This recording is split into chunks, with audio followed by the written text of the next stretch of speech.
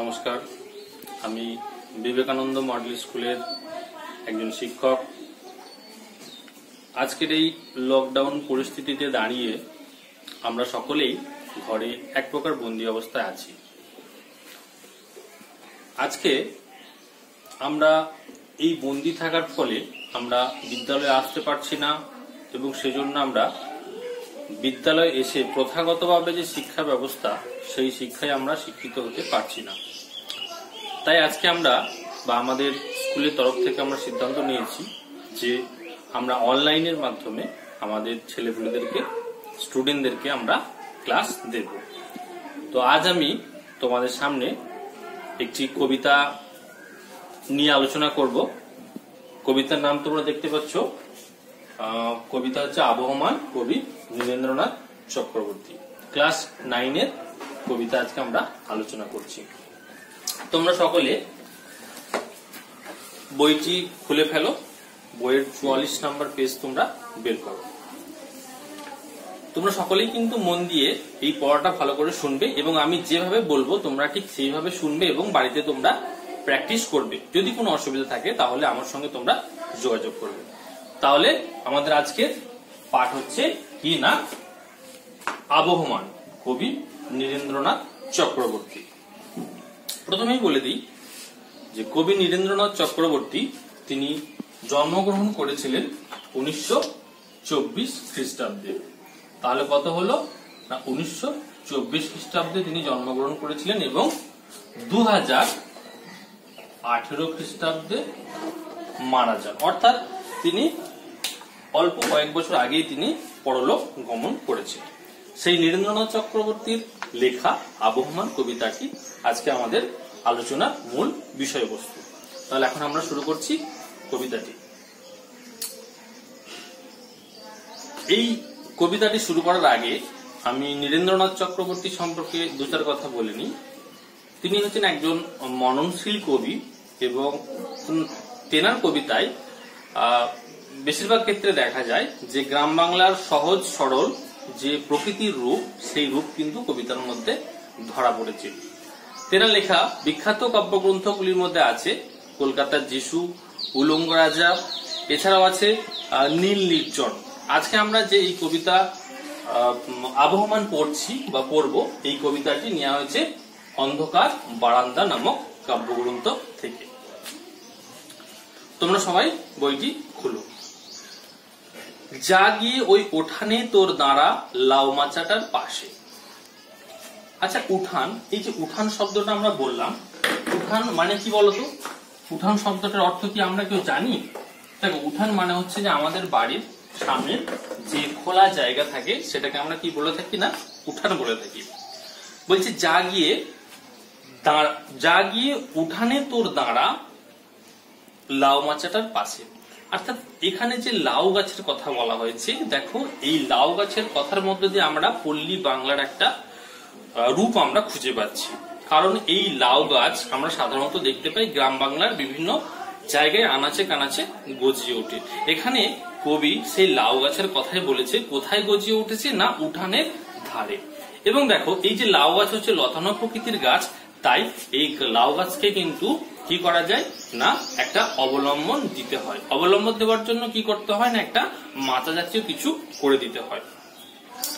ছোট্ট একটা ফুল দুলছে ফুল দুলছে, ফুল সন্ধ্যার বাতাসে। অর্থাৎ কবি এখানে যে প্রসঙ্গে কথাটি উত্থাপন করেছেন বা বক্তব্যটি তিনি বলেছেন যে সন্ধ্যার আকাশে কি হয়েছে বা সন্ধ্যার বাতাসে সেই লাউ গাছে কি হচ্ছে না? হাওয়া লাগছে, বাতাস লাগছে এবং তার ফলে লাউ গাছের যে ফুল, সেই ফুল কিন্তু দুলছে। অর্থাৎ দেখো, এই লাইনের মধ্য দিয়ে আমরা বুঝতেই পারছি যে কবি একটি গ্রাম্য জীবনের একটি সুন্দর চিত্রকে তিনি তুলে ধরতে চেয়েছেন এই কবিতার মধ্যে। অর্থাৎ এই যে সন্ধ্যার বাতাসে ছোট্ট একটা ফুল দুলছে, এটা একটা নিবিড় ভালোবাসার টান। একটা গ্রামের প্রতি মায়া, মমতার যে আবদ্ধ থাকার যে টান, সেই টানের কথা কিন্তু এখানে বলা হয়েছে। কে এইখানে এসেছিল অনেক বছর আগে? কে এইখানে ঘর বেঁধেছে? নিবিড় অনুরাগে। আচ্ছা এই যে নিবিড় শব্দ, নিবিড় শব্দটার মানে কি বলতো? তোমরা কেউ বলতে পারবে? নিবিড় মানে হচ্ছে কি না? অনুরাগ বা খুব কাছের খুব কাছের মানুষ। খুব কাছের যে মানুষ, তাকে আমরা বলতে পারি যে নিবিড়। অর্থাৎ দেখো, আমাদের বাড়িতে মা বাবার সঙ্গে ভাই বোনের সঙ্গে বা আমাদের পাড়া প্রতিবেশীর সঙ্গে যে আত্মীয়তার সম্পর্ক, যে নিবিড় যে বন্ধন, সেই বন্ধনের কথাই কিন্তু কবি এখানে ব্যক্ত করেছেন। বলছি, কে এইখানে এসেছিল অনেক বছর আগে কে এইখানে ঘর বেঁধেছিল? নিবিড় অনুরাগে। অর্থাৎ এখানে কোনো একজন ব্যক্তি বা হয়তো কোনো একজন মানুষ যেখানে এসেছিল বহু বছর আগে, তারা এখানে ঘর বেঁধেছিল। কোথায় ঘর বেঁধেছিল? না সেই পল্লী বাংলায়, সেই পল্লী গ্রামে তারা ঘর বেঁধেছিল। কে এইখানে হারিয়ে গিয়েও আবার ফিরে আসে? এই মাটিকে, এই হাওয়াকে আবার ভালোবেসে। অর্থাৎ কবি এখানে বোঝাতে চেয়েছেন যে সভ্যতার যে অমোঘ নিয়োগ, যে জন্ম, মৃত্যু, অর্থাৎ আমরা এক জায়গায় আসি, সেখানে বসবাস করি, আবার মৃত্যু মাধ্যমে আমরা সেখান থেকে চলে যাই। এখানে কিন্তু কবি বলতে চেয়েছেন যে এই জায়গাতে কোন একটা সময় কেউ একজন এসেছিল এবং তার জীবনের তাগিদে হোক বা কর্মের তাগিদে হোক, সে তার সেই গ্রাম জীবনকে ছেড়ে কোথায় গিয়েছিল না শহরের জীবনে গিয়েছিল?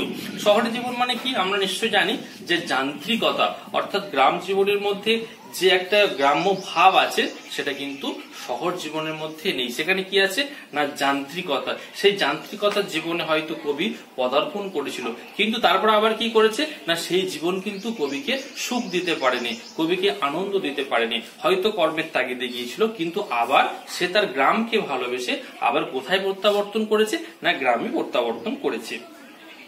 তাই কি বলছে? না, এই মাটিকে, এই হাওয়াকে আবার ভালোবেসে। অর্থাৎ গ্রামের যে মাটি, গ্রামের যে হাওয়া, সেই প্রত্যেকটা জায়গাকে কবি ভালোবেসে আবার কোথায় ফিরেছে? না, গ্রামে ফিরেছে। ঠিক একইভাবে দেখো আমরা, নীরেন্দ্রনাথ চক্রবর্তীর লেখা অন্য একটি কবিতায় আমরা দেখতে পাবো যে নিশির ডাক শুনে মাঝরাত্রিতে যারা ঘর ছেড়ে বেরিয়ে গিয়েছিল, এখন আবার খুব শান্ত আর খুব সুন্দর এই সকালবেলায় একে একে সেই ছেলেগুলো যে যার ঘরে ফিরে আসছে। অর্থাৎ দেখো, এখানে এই নিশিদ্ধা কবিতাতেও আমরা দেখতে পাচ্ছি যে যে ছেলেগুলো তাদের কর্মের তাগিদে ঘর থেকে বেরিয়ে গিয়েছিল, তারা কিন্তু সন্ধ্যাবেলা আবার কোথায় ফিরে আসছে না? তাদের সেই নিজের মাতৃভূমিতে, বাসভূমিতে ফিরে আসছে। ঠিক একইভাবে এই আবহমান কবিতার মধ্যে আমরা দেখছি যে, কবি হয়তো কোনো কারণে সেখান থেকে চলে গিয়েছিল, কিন্তু আবার সেই গ্রামের মাটিকে ভালোবেসে আবার সেই গ্রামে সে কি করছে? ফিরে এসেছে। ফুরোয় না তার কিছুই ফুরোয় না, নোটে গাছটা বুড়িয়ে ওঠে, কিন্তু মুড়োয় না। ফুরোয় না তার কিছুই ফুরোয় না মানে কি? না, এখানে জন্ম মৃত্যুর কথা বলা হয়েছে। এখানে জন্মের মাধ্যমে কি হচ্ছে? আমরা এখানে আসছি, বসবাস করছি, আবার কি হচ্ছে? না, আবার নতুন জন্ম হচ্ছে। অর্থাৎ এই যে একটা প্রবহমান ধারা একটা কালক্রমে এক যুগ থেকে আরেকটা যুগে সঞ্চারিত হচ্ছে, প্রবাহিত হচ্ছে। এটা কিন্তু কখনো থেমে থাকবার নয়। তাই এখানে কবি কি বলছে? ফুরোয় না, তার কিছুই ফুরোয় না। নোটে গাছটা বুড়িয়ে ওঠে, কিন্তু মুড়োয় না। নোটে গাছ মানে কি? দেখো আমরা নোটে শাক যেটা খায় আর কি, দেখবে নোটে শাক সাধারণত দু ধরনের হয়ে থাকে। একটা লাল রঙের হয়ে থাকে আর একটা কি না, সবুজ রঙের হয়ে থাকে। এখানে সেই নোটে শাকের কথাই কিন্তু বলা হয়েছে। সেই নোটে গাছটা হয়তো কবি নিজের হাতে তার সেই উঠানে লাগিয়েছিল, রোপণ করেছিল। সেই গাছটা কিন্তু কি হয়েছে? বয়সের ভারে বুড়ো হয়ে গেছে, কিন্তু গাছটা কিন্তু একেবারে মরে যায়নি। তাই বলছি, নোটে গাছটা বুড়িয়ে ওঠে, কিন্তু মুড়োয় না। অর্থাৎ এখানেও কিন্তু কবি সেই গ্রাম্য জীবনের ভালোবাসার কথা কিন্তু বারে বারেই তুলে ধরেছে। যা গিয়ে ওঠানে তোর দাঁড়া, লাউ মাচাটার পাশে ছোট্ট একটা ফুল দুলছে, ফুল সন্ধ্যার বাতাসে। অর্থাৎ কবি এই শব্দগুলো বারবার ব্যবহার করেছেন যেন একটা মানসিক প্রশান্তির জন্য, একটা মানসিক আনন্দের জন্য। হয়তো দেখা যাবে যে কবি সেই যখন লাউ মাচাটার পাশে গিয়ে দাঁড়িয়েছিল, তখন তার মনের মধ্যে যে আনন্দ অনুভব হয়েছিল, সেটা কিন্তু কবিকে সহজ জীবন দিতে পারেনি। তাই কিন্তু কবি বারে বারে সেই একই কথা কিন্তু বারবার এই কবিতার মধ্যে উপস্থাপন করেছেন। ফুরোয় না তার যাওয়া এবং ফুরোয় না তার আশা ফুরোয় না সেই এক বইটার দুরন্ত পিপাসা। অর্থাৎ ফুরোয় না তার যাওয়া মানে কি? না, কবির এই যাওয়া এবং আসা, এটা কিন্তু অনবরত কি হচ্ছে না প্রবাহমান। সে যাচ্ছে, আবার কিন্তু ফিরে আসছে। কবি যে এক গুয়ে ছিল, যে মানুষটা কথা এখানে বলা হয়েছে, সেই মানুষটা কি ছিল না? এক গুয়ে তার জেদ। কোথায় ফিরে আসার জেদ? না, গ্রামে তার ফিরে আসার জেদ। সারাটা দিন আপন মনে ঘাসের গন্ধ মাখে। অর্থাৎ দেখো, আমরা এই যে গ্রাম জীবনের যে সবুজ গাছপালা, এই যে ঘাস, বিভিন্ন মাঠ, এই মাঠ, ঘাস, গাছপালা কিন্তু আমরা কি? না, আমরা কোথায় দেখতে পাই? গ্রাম্য জীবনে দেখতে পাই। এদের একটা কি আছে না, একটা অকৃত্রিম ভালোবাসা আছে মানুষের প্রতি। এই ভালোবাসার প্রতি টান, টানেই কি হয় না, মানুষ বারে বারে আবার সে গ্রাম্য জীবনে ফিরে আসে। এখানেও কবি বলতে চেয়েছেন যে কি না সারাটা দিন আপন মনে ঘাসের গন্ধ মাখে। গন্ধ মাখে মানে কি? অর্থাৎ ঘাস থেকে যে সুগন্ধ নির্গত হয়, সেই অর্থাৎ ঘাসের উপরে কবি যেন নিজেকে বাচ্চা শিশুর মতো খেলা করাতে চেয়েছেন। সেখানে বসে বসে খেলবে এবং সেখান থেকে সে ঘ্রাণ নেবে। সারাটা রাত তারাই তারাই স্বপ্ন এঁকে রাখে। অর্থাৎ গ্রামের দেখবে আকাশটা যেন মনে হয় অনেক বিস্তৃত আকাশ, অনেক বড় আকাশ, যেখানে রাত্রি যদি আকাশের দিকে তাকানো যায়, তাহলে নিজের মনের মধ্যে একটা কল্পনার জগৎ ভেসে ওঠে, একটা স্বপ্নের জগৎ ভেসে ওঠে। সেই স্বপ্নের জগতের মধ্যে বিভিন্ন ধরনের স্বপ্নের জাল কিন্তু মানুষ কি করে? তৈরি করে। এখানে সেই কথাই কিন্তু বলা হয়েছে, ফুরোয় না তার কিছুই ফুরোয় না, নোটে গাছটা বুড়িয়ে ওঠে কিন্তু মুড়োয় না। অর্থাৎ মানুষের মনের মধ্যে যে নবীনত্ব আছে, যে চিরন্তন ভালোবাসা আছে, সেটা কিন্তু কোনোদিনই শেষ হবার নয়। সেটা কিন্তু যুগ থেকে যুগে প্রবাহমান।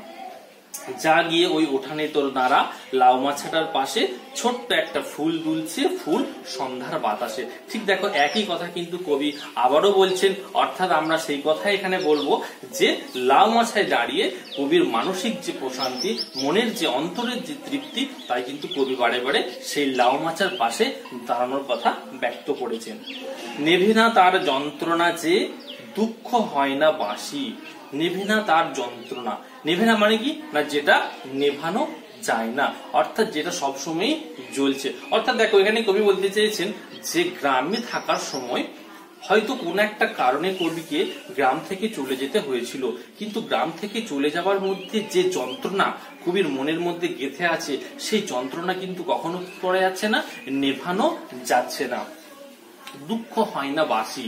অর্থাৎ দেখো, দুঃখ কিন্তু একটা দিন থেকে আরেকটা দিনে কি হচ্ছে? প্রবাহিত হচ্ছে। অর্থাৎ এর মধ্যে কোনো বাসি যে বাসি যে বাসি বলতে কি? না, আজকে জিনিসটা কালকে যখন চলে যাচ্ছে, খাবারটাকে আমরা কি বলছি? বাসি। এখানে কি হচ্ছে? না, কবির সে যে দুঃখ, সেই দুঃখ যেন কালকেও যে দুঃখ ছিল, আজও সেই দুঃখ যেন সতেজ, টাটকা। এখানে কিন্তু বাসির কোনো ব্যাপার কিন্তু কবির অন্তরের মধ্যে নেই। তাই বলছি, দুঃখটা যেন হয় না বাসি হারায় না তার বাগান থেকে কুন্দ ফুলের হাসি। কুন্দ ফুল কি? না, কুন্দ ফুল হচ্ছে এক ধরনের একটা ফুল। সেটা কি হচ্ছে? না, সেই ফুলের মধ্যে, অর্থাৎ আমরা যখন মাঠ ঘাটে যাই বা রাস্তা দিয়ে যাই বা গ্রাম্য জীবনে আমরা যখন পদার্পণ করি, যে বিভিন্ন ফুলের সমাহার আমরা দেখতে পাই, সেই ফুলের মধ্যে একটি উল্লেখযোগ্য ফুল হচ্ছে কুন্দ ফুল। সেই কুন্দ ফুলের হাসি কি হচ্ছে? না, কবির মুখের মধ্যে, কবির চোখের মধ্যে সর্বদাই কবিকে কি করছে না? জাগরিত করে তুলেছে। হারায় না তার বাগান থেকে কুন্দ ফুলের হাসি অর্থাৎ তার বাগানের মধ্যে যে কুন্দ ফুলের গাছ ছিল, সেই গাছের যে হাসি, সেটা কিন্তু এখনও কবির কাছে হারিয়ে যায়নি। তেমনই করি সূর্য উঠে, তেমনই করি ছায়া নামলে আবার ছুটে আসে সন্ধ্যা নদীর হাওয়া।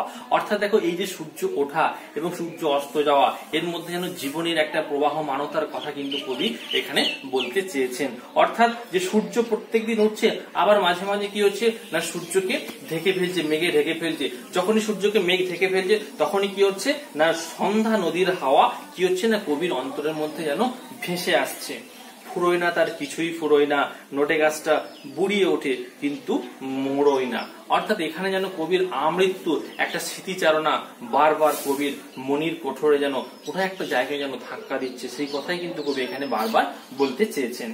যা গিয়ে ওই উঠানে তোর দাঁড়া, লাউ মাচাটার পাশে। এখনও সেই ফুল দুলছে, ফুল সন্ধ্যার বাতাসে। আবার কিন্তু দেখো কবি, একেবারে কবিতার শেষ প্রান্তে এসে তিনি আবার কি বলেছেন? সেই মানসিক প্রশান্তির জায়গাটা যেন তিনি আবার খুঁজে নিতে চেয়েছেন। কোথায়? না, সেই লাউ মাছাটার পাশে কিন্তু তিনি আবার গিয়ে দাঁড়ানোর কথা বলেছে ঠিক আছে? তাহলে দেখো, আজকে আমরা এই আবহমান কবিতাটি সম্পর্কে বিস্তৃতভাবে আলোচনা করলাম। তোমরা বেশ মনোযোগ সহকারে এই কবিতাটি এখন বাড়ির মধ্যে ভালো করে শোনো এবং দেখো। যদি কোনো জায়গায় অসুবিধা হয়, তাহলে তোমরা আমার সঙ্গে যোগাযোগ করবে। ঠিক আছে? ভালো করে মন দিয়ে পড়ো। আমি আবার তোমাদের জন্য নেক্সট একটা ভিডিও পরবর্তী ক্ষেত্রে আমি তোমাদের জন্য নিয়ে আসছি।